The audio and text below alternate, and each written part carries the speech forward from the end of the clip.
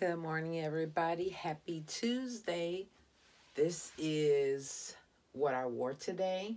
This is a pretty mustard gold cardigan that I got from the Goodwill. It's made by Jones, New York, and it's um three quarter length sleeve, which I really like, and it allows you to layer. Um, the cotton top that I got under it it's uh, from Walmart. It's um, not as thick as the usual cotton shirts from Walmart. This one is a little bit thinner and I like it better. It reminds me of the perfect tee from Old Navy. And of course, as you can see, the v-neck. I love my v-necks. And the pants are from Walmart as well. These are called the skinny pants.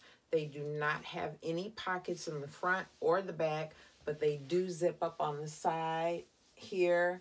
And they also have a little latch hook um, for security as well. And they are ankle length. Um, I couldn't find these in the long, so I had to get the ankle length because they were super, super cute.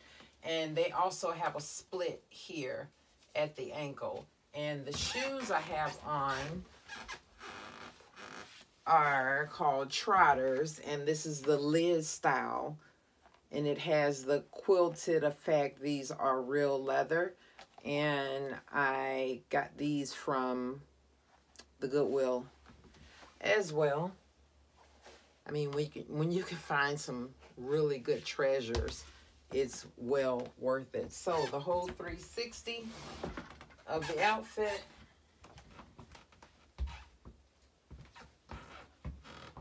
These are not high-waisted, but they do fit, you know, higher than your normal. I like the wide band around the waist. And these are a perfect fit. They are nothing like the Pixie or the Parker pants from... The Parker pants are from Walmart, which fit better than the Pixies from Old Navy, but they're still a little bit ill-fitted.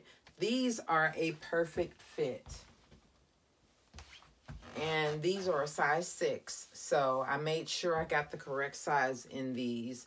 Um, this cardigan is a small this shirt is a small. So yeah just wanted to give you guys my sizes so you can get an idea of what the sizes look like. These pants are true to size. So go and get you some. These are the Time and Tru line pants and I love them. I got them in a couple of different styles and you guys keep watching and I will definitely show you the other pants.